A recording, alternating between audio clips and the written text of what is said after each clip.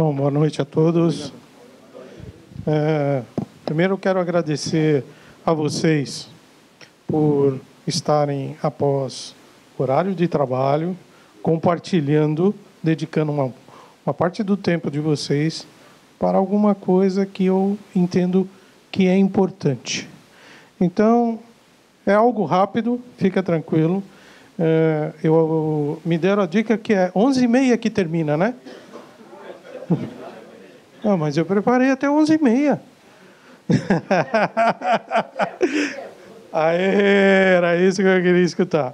Ok? Vamos nos divertir com o tema. A ideia é essa. E perguntas.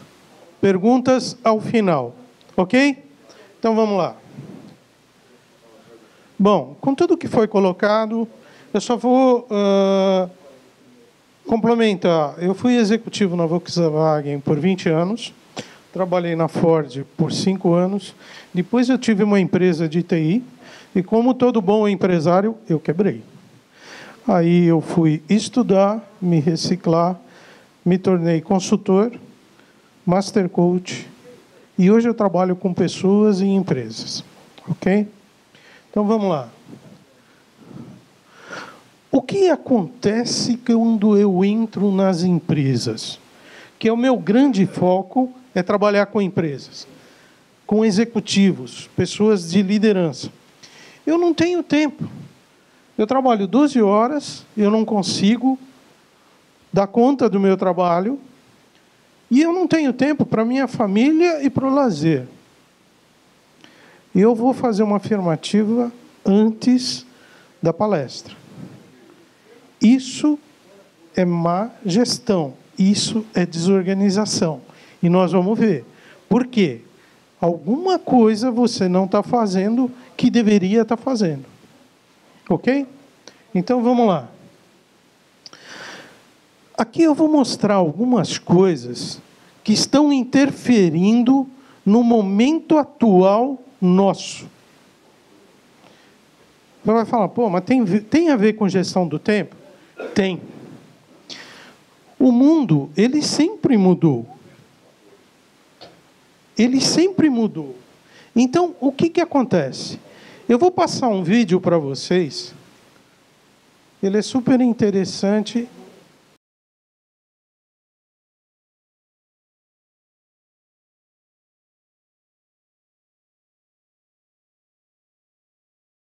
Cento e setenta mil pessoas foram demitidas.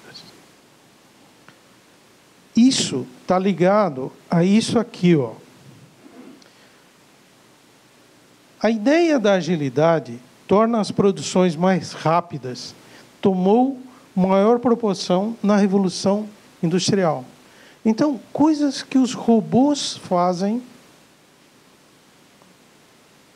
é melhor do que nós seres humanos. E eles fazem mais rápido e melhor. Então, veja, hoje, o momento atual que se fala da economia da indústria 4.0. O que, que é isso? É esse último quadrinho aqui. Tudo está conectado. Eu estou conectado na internet. O que está passando aqui, pessoas à distância estão assistindo. E isso não faz muito tempo que mudou assim. E nós vamos ver isso.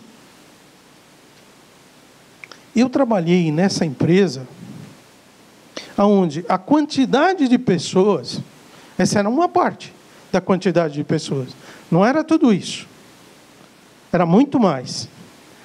Empresas com muitos funcionários. E como é que ela funcionava? Muita gente trabalhando na linha de montagem. Muita. Aí começou a ficar assim. E o que os empresários sentiram da mudança para robô? Não tem décimo terceiro, não tem greve e a qualidade é melhor. Não tem falta. Então, essa concorrência com a gente, ela é desleal. O que eu estou querendo mostrar para vocês é que está mudando muito rápido. Eu já vim de algumas mudanças, algumas eh, revoluções, mas que nem esta eu nunca vi. Eu não consigo acompanhar. Hoje, no Japão, nos Estados Unidos, esse cara aí faz recepção em hotéis. Vocês sabiam disso? Eles limpam casa. Trabalhos repetitivos estão sendo substituídos. Aí você me fala o seguinte, Rogério, então, se vai substituir, aonde vai colocar essas pessoas? Eu venho pesquisando isso porque eu quero criar uma, uma nova palestra sobre o futuro. E aonde eu bato, eu não consigo entender o que vai ser o nosso futuro. Por quê? A força disso é muito grande e em todas as áreas. Hoje se faz cirurgia com robô. E ela é muito mais precisa e menos invasiva. Então não dá para falar que não é um progresso. É. Nós vamos viver alguma coisa muito diferente, com certeza. Mas o que vai ser, como que vão encaixar a gente, eu acho que pela minha rodagem já, eu não vou pegar tanto lá na frente. Só se eu voltar de novo, né? Mas aí é outra história. Eu vou negociar de novo o que, que eu vou fazer. Mas a mudança é muito grande. Tudo está conectado. Você tem um celular, você está conectado com a internet, você está conectado com o banco, você está conectado com tudo. Você quer ligar para um outro país, você quer ligar para um amigo seu, você quer ver um filme. Não tem mais distância. Eu trabalhei num momento na Volkswagen onde a gente fazia videoconferência. Então a videoconferência era tinha que ligar para fazer uma ligação com com o, com satélite. Eu estou aqui, ó. E eu faço essa conexão na hora.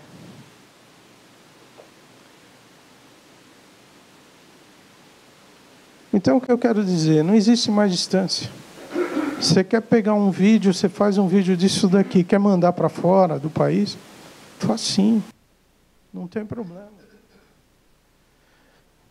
Aí, vamos voltar a uns 20 anos atrás, mais ou menos.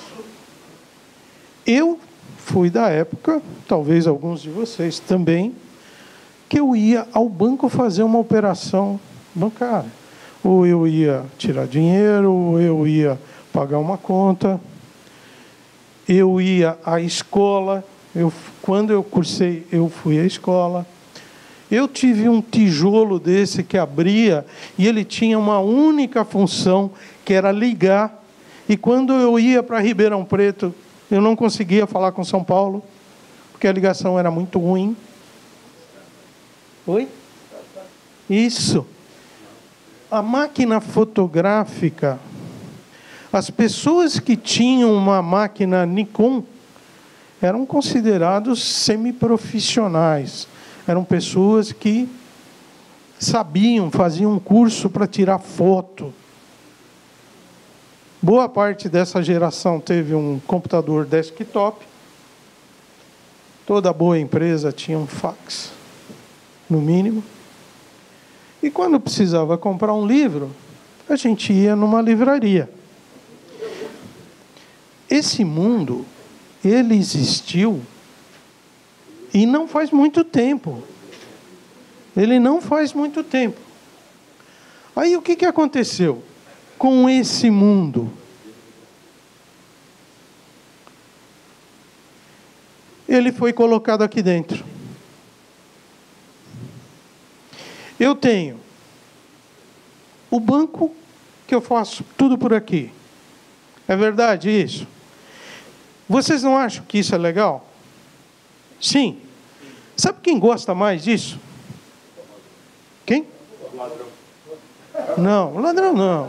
Sim, quem? Tá, mas quem gosta mais? O banqueiro. O banqueiro. Por quê? Ele pegou e falou para você assim, ó, a tua informação está aqui, pode fazer você para mim, porque o teu dinheiro está lá. Então, ele diminuiu e está diminuindo cada vez mais o custo dele, as despesas. Então, a gente vê essa facilidade, é verdade, não vamos criticar só. Mas ele fez um puta negócio. Da época que a gente ia num banco, hoje está tudo aqui. Você faz qualquer operação, em qualquer lugar. Também. Então, tem as vantagens. Tem as vantagens. Com certeza. Aí, você quer ler um livro, você entra no site da Amazon. Você abaixa um e-book, você compra na hora e você lê na hora. Não necessariamente você precisa ir a uma livraria. Pô, ele traz realmente facilidade.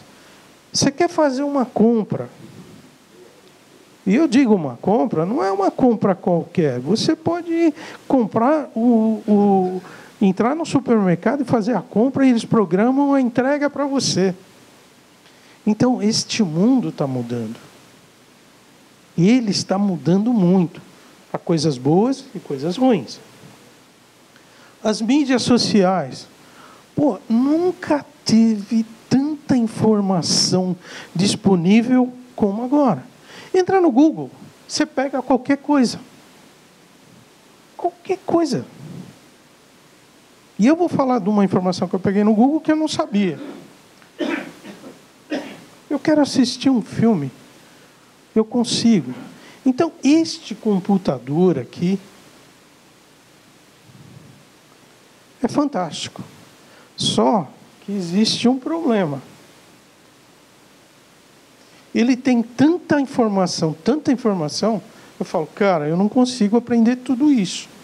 E muita gente não consegue aprender tudo isso. E cada vez mais isto vai ser mais potente. E eles vão colocando, vão colocando, vão facilitando a nossa vida, mas ao mesmo tempo eles vão invadindo a nossa vida. Isso é uma invasão. Mas com um detalhe: ele é uma evasão porque nós permitimos. Não põe a culpa nele. Porque se você puser a culpa nele, você põe no bolso, nada acontece. Então, o que, que acontece com este cara? Hoje, 46% dos americanos não ficam sem celular. Não ficam sem celular. Então, esse equipamento, essa solução, ela tem uma coisa chamada, ela é viciante. Ela é viciante. Ela cria, ela, o nosso cérebro tem uma substância chamada dopamina. A dopamina, ela traz um prazer, uma satisfação. E o que acontece? Alguém postou alguma coisa, aí ele está esperando se vai ter um like ou não. Por quê? O teu cérebro já está esperando alguém curtir. E isso se tornou uma coisa tão maluca que o cara vai num restaurante com a namorada, ele tira uma foto do prato e posta. E fica esperando os likes. Em vez dele colocar um pouquinho de vinho no copo, desliga o celular, deixa correr um clima gostoso, segura na mão da menina, deixa esquentar. O cara está preocupado com o prato. Eu vi isso. E aqui eu vou mostrar, vou falar para vocês uma experiência que essa eu nunca tinha visto. É, eu, aqui eu não vou colocar em discussão religião, nada disso. Vou falar a minha experiência. Eu frequento um, um centro E no centro a gente assiste uma palestra, depois passa por uma sessão de um passe e assim por diante. E eu assisti a palestra, estou sentado ali esperando. Eu nem levo. Nem levo. Estou sentado, chamaram uma pessoa, porque por senha a pessoa foi e eu fiquei. Aí veio uma pessoa lá de trás, sentou do meu lado, com fone de ouvido, sentou do lado, assistindo um programa esportivo. Falei, cara, eu venho para cá que é justamente para desligar desse mundo maluco. Então as pessoas estão perdendo o ponto do que é adequado do que não é adequado. Eu saio às seis horas da manhã com meu cachorrinho para ele fazer um xixi. Tem gente com, com fone de ouvido no viva voz falando.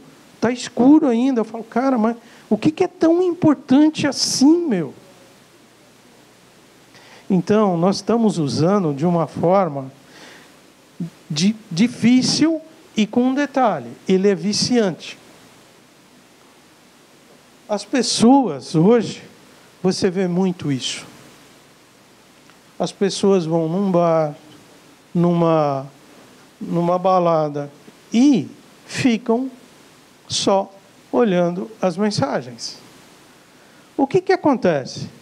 Hoje, você tem nomofobia, é ansiedade de ter celular. Existe isso? Existe, porque o nosso cérebro pede isso. Ele é viciante, ele se adapta a tudo. Toque fantasma. Eu estou com o celular no bolso, eu estou achando que está tocando. Ele é viciante.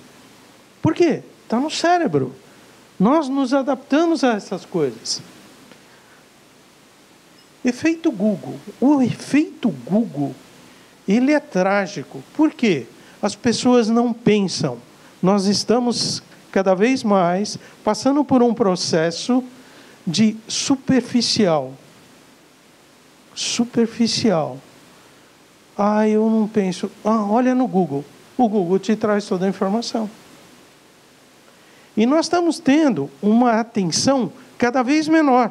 Por quê? Se eu estou aqui falando com vocês e de repente eu estou dando atenção para alguém, e eu deixei o meu celular ligado, eu só faço isso. Eu já, eu já, eu já tirei a atenção. Eu já cortei. Então, veja, o que traz vantagem também tem consequências. Muitas vezes as pessoas se tornam escravas. Elas não conseguem trabalhar sem um celular. Elas não conseguem ir para nenhum lugar sem um celular. É uma ferramenta ótima? Pô, ninguém está pondo em dúvida. Ninguém está pondo em dúvida. Mas, por que, que a pessoa não usa adequadamente?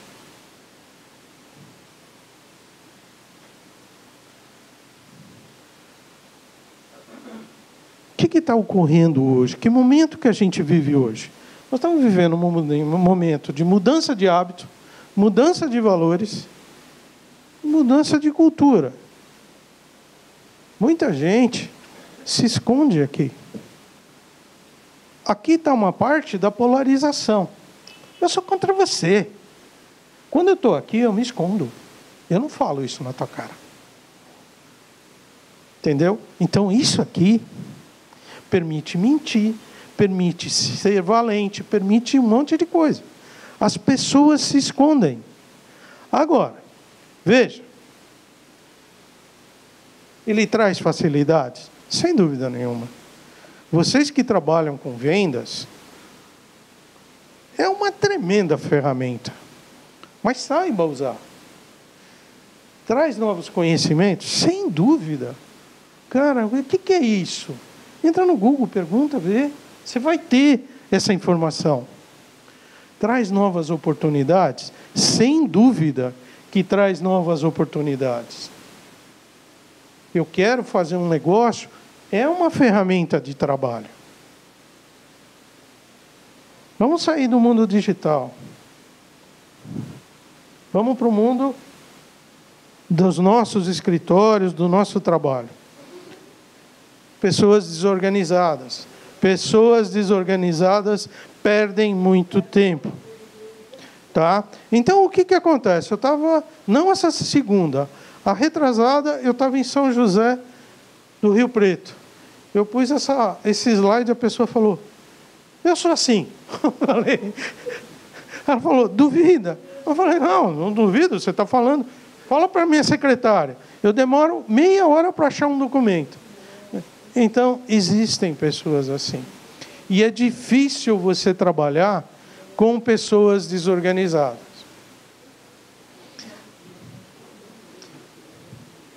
Interrupção. Veja, a interrupção no trabalho, ela é uma coisa é, onde no mundo corporativo, quando eu vou falar, e eu já eu já tive esse problema com um diretor de uma empresa, que um dia eu, eu bati boca com ele, porque eu não concordo com a forma que ele falava. Meu, as pessoas que trabalham comigo são burras. Porra, cara, como burra? Não, elas não entendem. Tudo tem que vir perguntar para mim. Eu falei, cara, tem alguma coisa, você não é tão inteligente assim. Me desculpa. Qual era o grande problema dele? O grande problema dele, ele tinha dois grandes problemas. Primeiro, comunicação. Ele não sabia explicar. Segundo ponto, centralizador. Pessoas centralizadoras são pessoas que tudo tem que passar por ela. Ah, cara, mas sabe o que acontece? Eu não confio. Pô, se você me contratou, eu vou falar, cara, você me desculpa, cara. Você está ganhando o salário dele? Não. E você mantém? Você tem que pôr um cara para fazer aquilo. Aquela tarefa de forma adequada. Se tudo tiver que passar na tua mão, tem algum problema sério. E a grande maioria dos executivos são centralizadores. Tudo tem que passar na mão dele. E ele é o funil. E sabe o que acontece muito aqui? É legal, porque quando ele é centralizador, que passa por ele, ele fala: Não, não quero que faça assim. Tá bom, se der errado, foi você que falou. É fácil. A pessoa não assume responsabilidade. Então, isso também come tempo. Pessoas que não sabem dimensionar tempo. Pessoas que tenham, deveriam fazer uma reunião ou um contato em meia hora, levam duas horas, levam uma hora. Aí, falta tempo naquilo que ela tem que fazer. Ela fala, cara, mas eu tive uma reunião de duas horas. Porra, cara, eu nunca tive uma reunião de duas horas. Com todo o respeito. Com muita coisa, não dá. Não sabe controlar o tempo. Pessoas sem senso de urgência ela não sabe o que é urgente, o que é normal, o que é descartável. Aí ela fala assim: Eu estou trabalhando que nem um maluco. Cara, você está trabalhando que nem um maluco, mas aquilo que é urgente, você está tratando como urgente? Imagina, imagina num pronto-socorro, se o médico não sabe tratar o que é mais urgente ou menos urgente, vai morrer um monte de cara lá. Então, nós temos que saber. E quando nós estamos trabalhando nas vendas, como vocês, é importante o que é mais urgente e o que é menos urgente. Você saber. Comunicação ruim. A comunicação, ela é muito importante. Alguém já viu esse tipo de comunicação?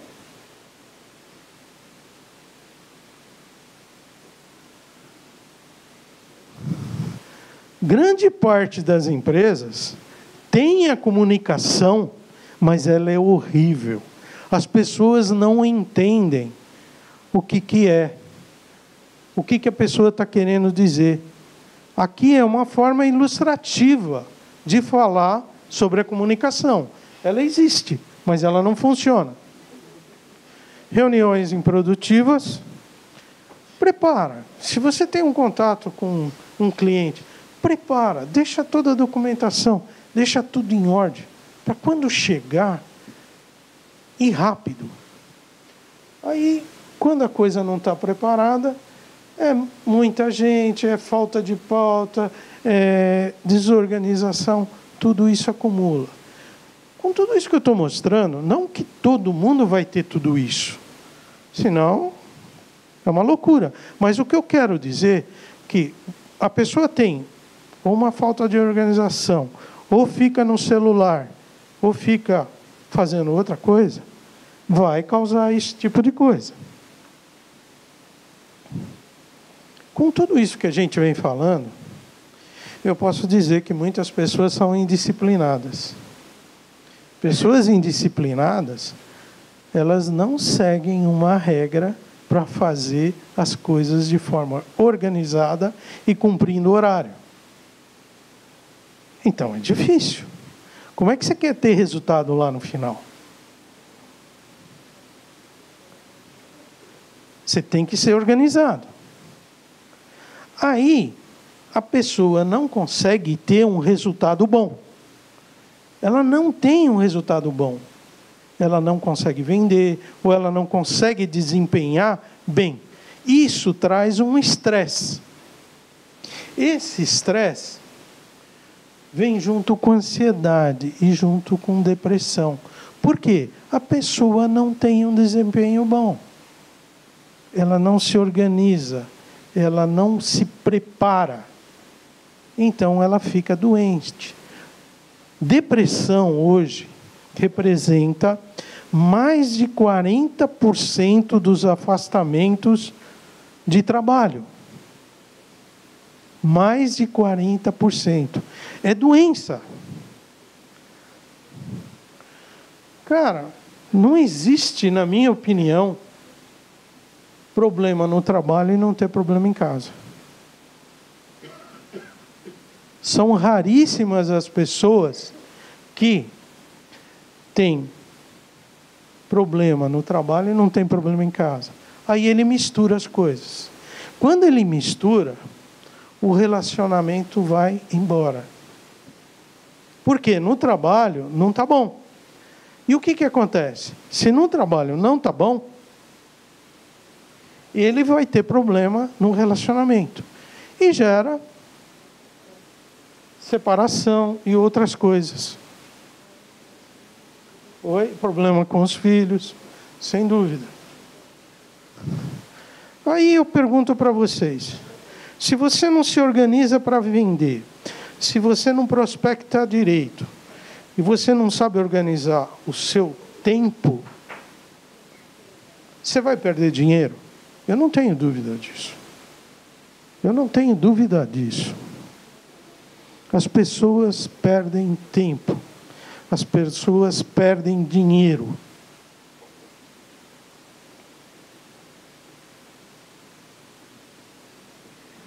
Aí eu pergunto: como você trabalha? Vamos mudar um pouco disso.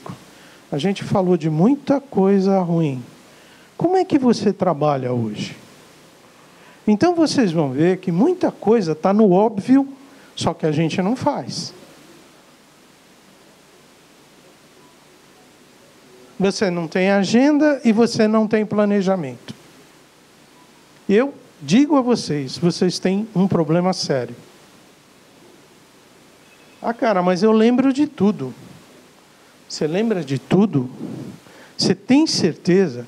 Você está fazendo uma coisa, de repente alguém te chama você perdeu aquilo?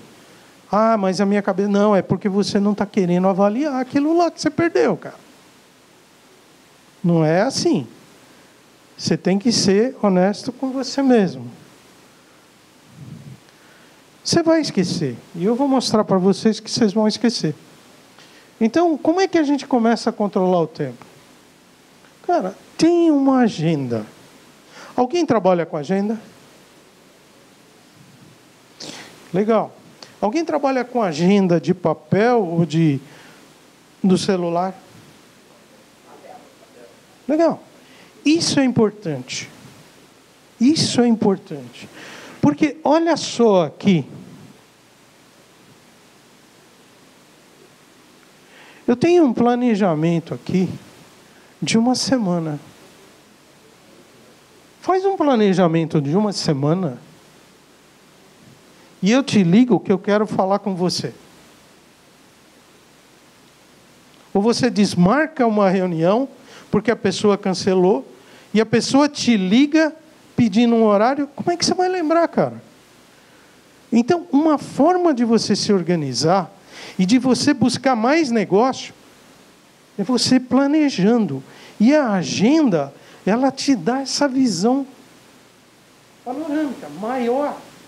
É essa agenda que vai te ajudar. Te ajudar no planejamento das tuas atividades e no planejamento do uso do horário.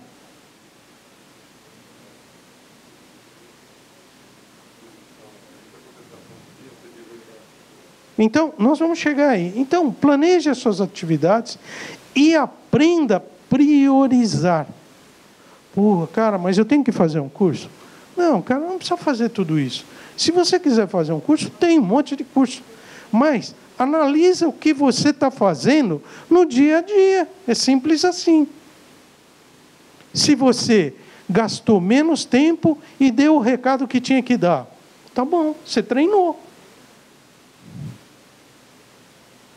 Chegou no final do dia que você fez a tua agenda,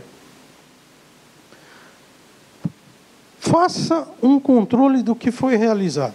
Nossa, mas eu tenho que fazer isso? Cara, você não demora 10 minutos para fazer isso. Você está com a tua agenda lá? O que eu concluí? 25%. O que eu atrasei? 25%. O que eu tive que reprogramar? 25. E o que está em andamento, que é para outras pessoas que eu deleguei. Agora, se você pegou e atrasou 70%, alguma coisa está errada.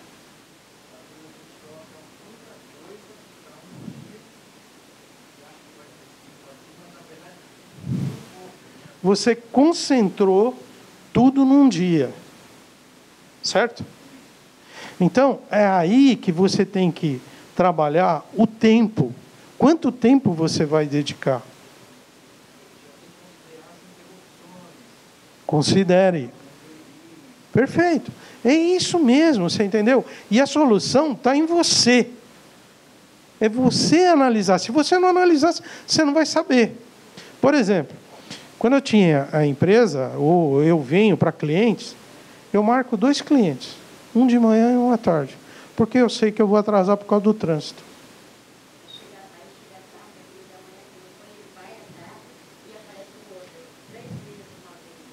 Então, nós precisamos tomar cuidado. As coisas são simples, você tem que tomar cuidado. Não adianta querer fazer tudo. Tudo bem, você pode marcar três é, três reuniões seguidas se as pessoas estão vindo na sua sala. Aí tudo bem. Mas você se deslocar, desde que você tenha controle do tempo e controle do assunto, beleza. Mas se você concentrar tudo de uma vez só, não é legal, porque você não vai conseguir cumprir. E quando você olha isso aqui, ele te dá o norte se você está fazendo bem ou não.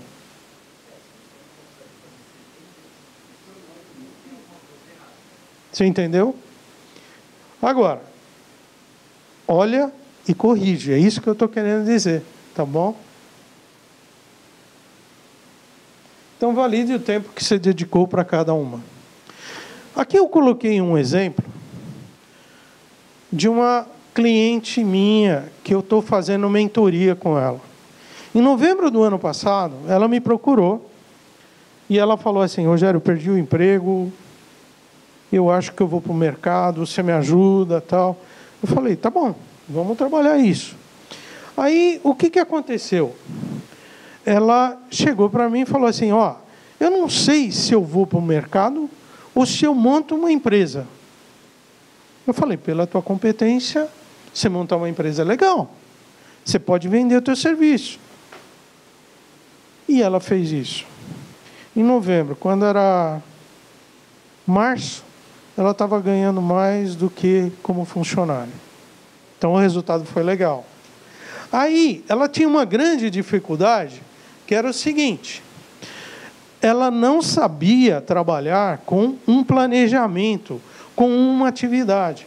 E essa é complicada, porque a partir do momento que ela montou a empresa dela, ela tinha que prospectar, buscar cliente, ligar para o cara.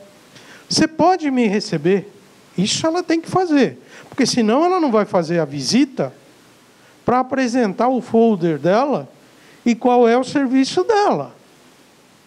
Então, uma hora o cérebro está para cá, outra hora está para cá. Aí ela começou, tudo bem, então ela ligava, depois ela visitava e ela fechou o negócio. E aí ela tinha horário para trabalhar em determinadas empresas. Então começou tudo ao mesmo tempo. Se você não tem esse controle, você se perde. Por quê? Se você deixa de prospectar, vai te faltar visita, então vai te faltar contrato. Aí ela começou a trabalhar. E ela escreveu: Olha, não estou tendo dificuldade, estou indo legal. Então, toda reunião que a gente tinha semanal, a gente começava por aqui. A importância disso. E com um detalhe: ela tinha uma terça-feira livre. Se ela não tivesse esse tipo de coisa, e eu ligasse para ela, como é que ela ia saber que estava livre? Pode vir na terça que eu falo com você. Entendeu? Isso é organização. Isso é saber usar o tempo. Isso independente da tecnologia ou não. É a gente disciplinar.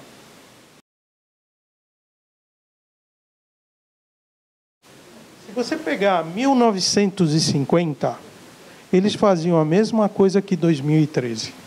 Trocar pneu, abastecer o carro e botar o carro no menor tempo possível. Hoje está muito mais rápido ainda. Então, o que eu estou querendo dizer é um segredo que eu tenho certeza que vocês sabem. E isso é fundamental no tempo e na qualidade do seu serviço. Na qualidade do seu serviço. Alguém tem dúvida do que tem que fazer? Ah, mas aí você vai falar para mim, pô, Rogério, mas eu não treino. Oh, como você não treina, cara? Você faz todo dia a mesma coisa. Você tem que olhar para ver se você faz melhor. Se você fez uma venda, porra, que foi fundamental, foi legal. Usa esse modelo para as outras. Você, a repetição te leva à perfeição. A repetição te leva à perfeição, desde que ela seja bem feita. É o treino. Então, quando você faz, você está treinando. É isso que eu estou querendo dizer. Esses caras, eles treinam. E, tem, e são organizados. E com detalhe, tem cara aqui que não faz nada. Ele só fica olhando. Se deu algum problema, é a hora que ele vai trabalhar. Isso é organização. Isso é coisa de você pensar antes do ocorrido. É verdade isso? Não necessariamente. Porque quando esse cara não estava lá, deu problema, e aí eles pensaram: cara, nós temos que pôr um cara aqui. É em cima dos problemas que a gente evolui. É onde o aprendizado. O aprendizado vem pela dor quando você faz errado. Olha que maluquice que eu estou querendo falar. Quando faltou água em São Paulo, alguém saiu correndo para ligar as represas. Hoje não falta água. Você entendeu? Então, organização, planejamento, tá atento. A tua venda, como é que você faz? Entendeu? A pergunta é a seguinte: quando você vende, você pede um feedback do teu processo de venda? Alguém faz? O quê? Alguém faz? Legal. Entendeu? Então, por quê? Quando está tudo certo, olha a maluquice que eu vou falar. E não me chutem para fora. Você não fez mais nada do que a sua obrigação.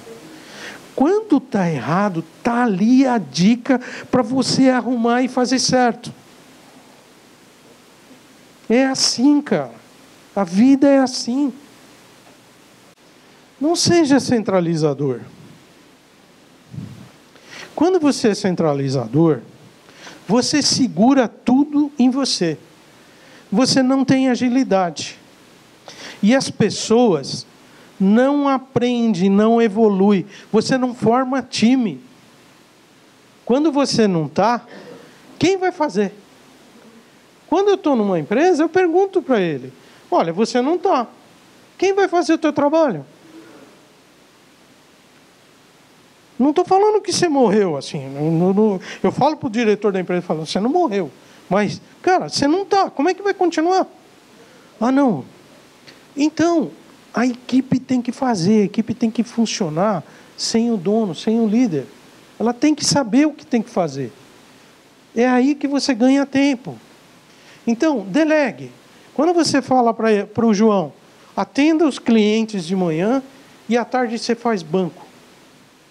Você entendeu isso? O que, você entendeu? Que eu vou fazer banco à tarde e vou atender cliente. A Maria, você vai fazer o faturamento. À tarde é compras. Não adianta fornecedor vir aqui ou ligar para fazer de manhã. É à tarde. É a ordem. Só um segundo. E na minha mesa, eu quero o relatório do fechamento. Porque eu vou analisar os números do meu fechamento. Porque se no dia seguinte eu tenho que agilizar as minhas vendas, eu já sei que o meu dia de hoje foi ruim. Todo mundo tem que saber com clareza. Pode falar. Sim. Trabalho muito com, com sucessão, onde o, o pai coloca o filho para fazer as coisas. Uma delas foi, foi o seguinte: eu vou dar uma fugidinha mais rapidinho e volto. É, é uma empresa de, de peças, né, de peças de veículo. E o português chegou e falou: Cara, me ajuda aqui, porque está tudo uma desorganização. Tá bom. Aí fui falar com o filho dele, o filho dele era o financeiro. Porra, mas você pegar os números financeiros, Cara, ele só pegava tudo com o juro no cheque especial. Eu falei, cara, você é maluco. 12, 15%. Ele não entendia de financeiro. Eu falei, cara, o que você quer fazer? Cara, eu adoro vender. Chamei o pai falei, cara, vamos contratar um cara. Pegamos um gerente de banco que era tinha acabado de se aposentar, era amigo da família, assumiu o financeiro o garoto alavancou a empresa em vendas. Então, muitas vezes acontece isso. Põe num cargo pensando que vai estar fazendo melhor e, na verdade, não é o melhor. Ok? Disciplina. Nós temos que ter disciplina. Não estou dizendo para você ser aquele cara sistemático, mas disciplina. E disciplina, alguém tem dúvida que esse cara é disciplinado, que os resultados dele vieram da disciplina. Então, o sonho vem através da disciplina. Você vai treinar, você vai treinar, você vai treinar. E quando você treina, você se supera. E quando você se supera, aquilo já não é mais desafio, porque você tem capacidade para fazer mais. Pensa nisso. Quando você vem nessa toada de disciplina, de delegar, de se organizar, você tem isso daí. Você tem foco. Cara, eu preciso falar com você hoje, porque eu quero falar um negócio, quero te perguntar uma coisa. Você tem dois contatos hoje para vender. Você tem foco, cara. Foco, pelo amor de Deus. Foco. Isso vai pôr dinheiro no bolso. Então, cuidado, que as coisas vêm para a gente e elas te puxam e te levam para um caminho aonde muitas vezes você pode se perder. Foco, foco. Se o cara fala demais, perde tempo demais, escruda, cara. Não é questão de você ser indelicado. Você tem que entender o que você veio para fazer. Foco. Você veio para vender. Agora, você pode dedicar mais tempo na frente do seu cliente para encantá-lo do que ficar com uma outra pessoa. A hora que você vendeu, aí você pode fazer.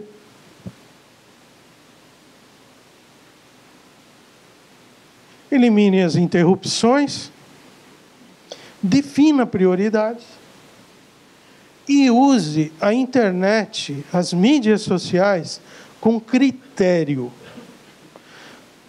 Tá bom, mas eu tenho pessoas que trabalham comigo. Estabeleça a regra. Estabeleça a regra. A regra foi feita. Não é que você não vai dar liberdade para a pessoa, não é isso.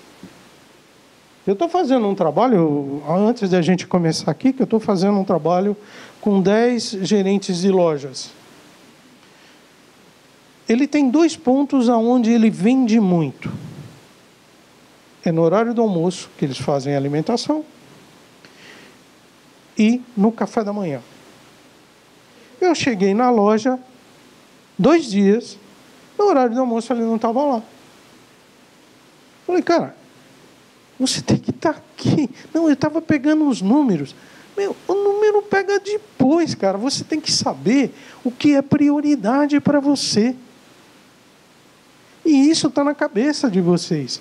Então, quando você é, tem essa prioridade, você fala, cara, você não pode fazer isso. Estabeleça regras com sinceridade, transparência, comunicação. Quando eu mostrei a baleia engolindo, cara, a comunicação, a gente encontra muito problema. Fala com clareza. Alguém sabe da comunicação do volta-fita? Alguém conhece essa? Você conhece? Fala de novo. Então eu pergunto uma coisa, eu falo uma coisa para você, estou dando um, fazendo uma brincadeira, tá bom? Aí eu, a primeira coisa que eu pergunto, eu falo, você entendeu? A primeira coisa que a pessoa fala, eu entendi. O que você entendeu? Então, as coisas dão erradas porque aí a pessoa não entendeu. Cara, eu falei isso, isso, isso, isso. Você quer escrever? Não tem desonra. Mas o importante é a pessoa entender, ter o um entendimento. Pô, Rogério, o que, que tem a ver isso com o tempo? Porra, cara, você entendeu errado, você fez tudo errado. Nós perdemos tempo. É o principal. É principal. O ser superior ele projetou essa máquina que somos nós. Ele deu dois ouvidos e uma boca. Eu diria, por onde eu passo, a grande maioria, a grande maioria, mais fala que ouve. As pessoas mais falam que ouvem. Eu já fui assim também. Hoje eu aprendi a ouvir mais. O ouvir mais me dá uma vantagem tremenda. Por quê? Quando você está falando, eu estou prestando atenção em você. Eu estou prestando atenção como você está falando, nas suas emoções, você entendeu? Quando eu estou falando, eu não consigo prestar atenção nisso tudo. Então, é importante a gente ouvir e falar de forma cirúrgica. Falar aquilo que é necessário, principalmente na venda. Se você tiver que fazer uma venda, que você fala, que você fala, que você fala, tem alguma coisa que não está fechando.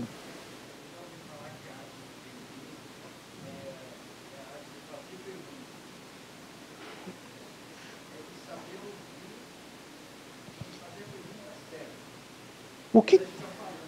o que vo... isso? Por quê? Você está empurrando uma coisa a partir do momento que você está falando. Agora, quando você pergunta, você tem que saber perguntar o que o cara quer. Ah, você quer um imóvel? Quero um imóvel. Você tem filho? Eu tenho dois. De que idade? Aquele imóvel que você está pensando para ele, não tem playground, não tem nada. E o cara, nesse diagnóstico, você vê que é importante para ele isso. Eu, eu pessoalmente, eu não vou falar por vocês. Eu falaria para ele, olha, eu tenho um imóvel aqui que não vai te atender como eu deveria atender. Eu vou procurar um outro para você. Eu acredito que o cara vai falar, pô, esse cara está jogando do meu lado. A sinceridade essa hora é muito importante. Então, você tem que ser investigativo. É isso mesmo. É isso mesmo. A comunicação, veja, 10% é a fala, mais 20% é a entonação, e 70% é o visual. As minhas palestras eu uso o visual. O que vocês acham se eu chegasse aqui e ficasse assim? Vocês iam me admirar? Eu chego para você, você falou alguma coisa, olha só, eu faço assim. Eu te reprovei. Olha a importância da comunicação através do visual. O olhar, a postura, a aparência. Quantas vezes eu já me deparei com pessoas aonde no meu grupo de trabalho a pessoa estava estressada. E o que, que acontecia? Isso eu aprendi e eu aplico isso hoje. A pessoa vai e fala. Dá licença de eu fazer um bate-papo contigo. A pessoa vai lá e fala. Ela está nervosa. E eu não deixo ela terminar de falar. Não, porque não sei o quê. Não, cara, mas não é isso. Não, mas não sei o quê.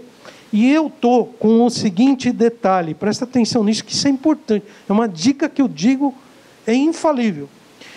Quando eu não deixo ele falar, ele pegou os olhos dele, enterrou no meu. Isso é olhar de leão. Olhar de leão é o olhar desafiador. Então, qual é a saída disso? Dá licença. Eu venho de lado, falo, cara, pode falar. Não vou ficar abraçando ele, tá? Eu toco. Toco. É proximidade. Toco. Pode ver lá. Tem toque. Proximidade. Pode falar. Eu deixo ele falar. Quando ele fala, fala, fala, eu falo. Posso falar agora? Só que quando eu falo para ele que eu posso falar agora, eu já prestei atenção quando eu falei para vocês que eu ouvi. E eu já deduzi, eu já analisei se vale a pena eu continuar tocando esse assunto com ele ou falar amanhã. Porque o emocional dele pode estar totalmente alterado. Entendeu? Inteligência emocional trabalhar com emoções. Leia a sua e leia a dele. Leia a sua e leia a dele. Quando pessoas estão alteradas, elas não vão conseguir se entender. Precisa falar? Não precisa. Eu fui pesquisar esse cara, todo mundo conhece, né? Hã? Vocês sabiam que ele tem um problema de fala? Eu não sabia. Eu fui fazer uma pesquisa, né? Tudo que eu coloco, eu vou procurar saber se pode, o que, que é. Ele tem um problema na fala. Ele não consegue pronunciar algumas letras. A B, com certeza. Então, ele desenvolveu esse tipo de humor. Você vê que raramente ele fala. Estamos chegando ao final, gente. Defina uma reunião com foco, com pessoas que estejam envolvidas com o assunto e determina prazo. A reunião tem que terminar às sete e meia. Falta um minuto. Tudo isso que nós falamos, falamos de estresse, falamos de, de comunicação, de falta de organização. Agora, você arruma a casa, mas cuida da tua saúde também. Porque se você não tiver bem de saúde, você não vai conseguir fazer nada. Então, quando você organiza a tua agenda e o seu tempo, dedica a tua saúde, saúde mental. Eu vou falar uma coisa muito difícil isso. Não é sempre que eu consigo. Eu tenho uma preocupação, eu falo, cara, eu não vou me preocupar porque a preocupação não vai resolver nada. Mas nós seguramos a preocupação na cabeça. Principalmente quando a gente não paga uma conta, alguma coisa nesse sentido. Então, veja, a preocupação, ela não resolve problema. O qual é o grande, o grande lance do negócio? É você ter foco para resolver o problema e não ficar pensando no problema. O foco para você resolver problema é você ter ações para resolver problema. É a mesma coisa de gente que tem problema com dinheiro. Gente que tem problema com dinheiro, não adianta pegar dinheiro e dar dinheiro para ele. Ele tem que aprender a trabalhar com dinheiro primeiro. Então ele tem que ter ideias.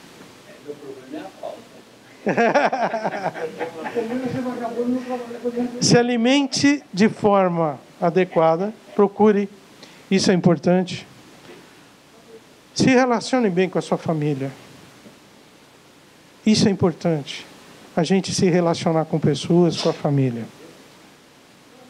Do que nós falamos? Nós falamos de planejamento, de organização, falamos das mídias sociais, comunicação, tempo é dinheiro e disciplina.